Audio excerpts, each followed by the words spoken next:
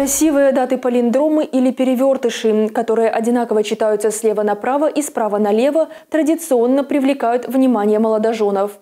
Так, 12 февраля в зеркальную дату в Солигорске узами брака себя связали 16 семей, 4 из которых расписались в торжественной обстановке, а 12 пар предпочли скромную регистрацию.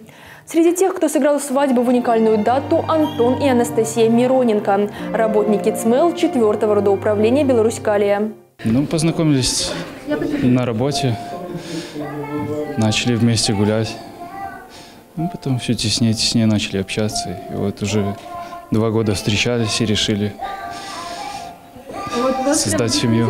Цифру 2 молодожены считают для себя счастливой, ведь она много где присутствует на пути создания их семьи. Это и срок отношений, и дата свадьбы. И кто знает, сколько еще хорошего это число принесет молодой семье в будущем. Поздравить молодоженов с одним из самых значимых и трогательных событий их жизни пришли родные, друзья, а также депутат Минского областного совета депутатов Наталья Новицкая и почетный гражданин Солигорщины поэт Федор Гуринович. Мы пришли сегодня вас поздравить, потому что Антон наш работник Беларусь-Кали, я нынешний работник. Федор Федорович уже на заслуженном отдыхе. Он член Союза писателей. И сегодня вам сувенир дорогой принес. И мы не с пустыми руками пришли. Мы хотим вам подарить от Белой Руси символические подарки. Там лежит кукла-зерновушка.